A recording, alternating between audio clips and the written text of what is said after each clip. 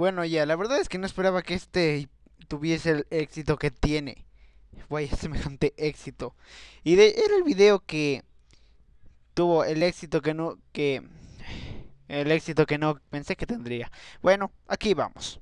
Antes hay que aclarar que quiere decir que el poder atacante tiene de manera simplificada los poderes de los nueve poderes titanes, no que todos tengan en uno. Eso hay que aclarar por si acaso. Este infierno ha acabado, sin embargo ha regresado una lucha sin fin. Anteriormente, después de la retirada, los guerreros se habían ido a la muralla y se habían encontrado con Seke Jagger y, e intercambiaron sus planes. Y después de una pelea, Seke ganó.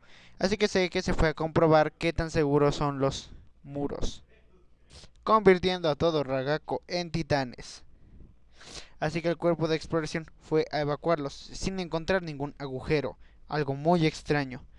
Entonces los guerreros se quedan ahí, en el muro, esperando que en algún momento el cuerpo de exploración irá por ellos, y entonces van a estar listos y van a atacar.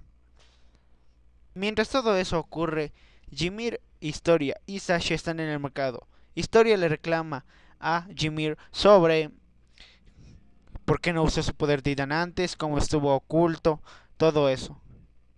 Pero antes de que siquiera pudiera decir algo, viene el escuadrón antihumanos y disparan a todos en el mercado, matando a Sasha. Y entonces cuando van, cuando uno agarra el brazo de Historia, Historia le da una patada en la ingle y entonces aparece una explosión. Jimir se convierte en titán y se enfrenta a la policía militar central.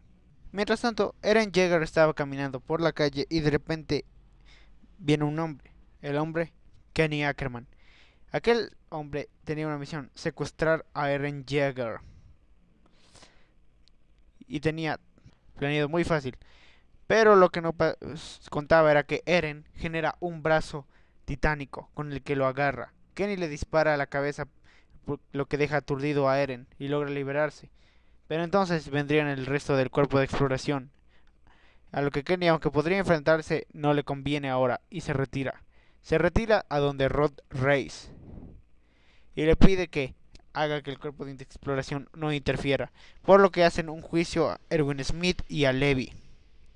Y ha hecho este juicio, Kenny se va a enfrentar a Eren.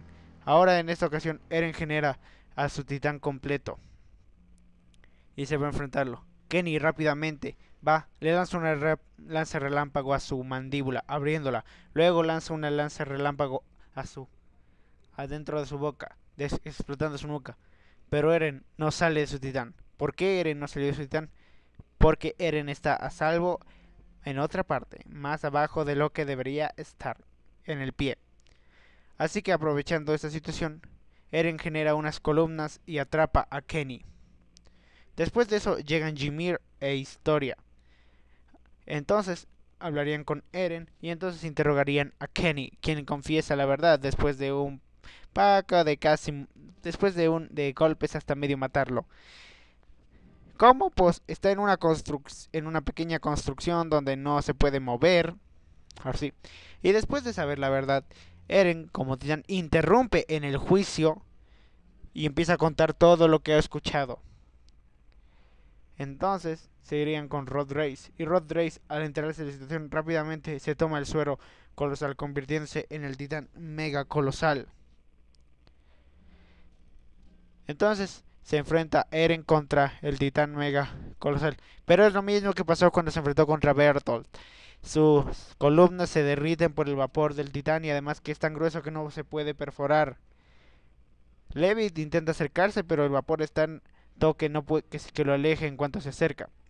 Historia le dice a Jimir que lo haga. Jimir no quiere. Pero entonces, después de ver que el titán se acerca a la muralla, Jimir hace una cara de desprecio, se corta y se convierte en titán. Y va y muerde la nuca de Rod, matándolo. Siguiente paso, ir a por los guerreros. Y hasta aquí esta parte. 40 likes para la siguiente parte. Oh, está muy cerca. Bueno, de acuerdo, dos likes más en esta y para la siguiente parte. Chau, chau.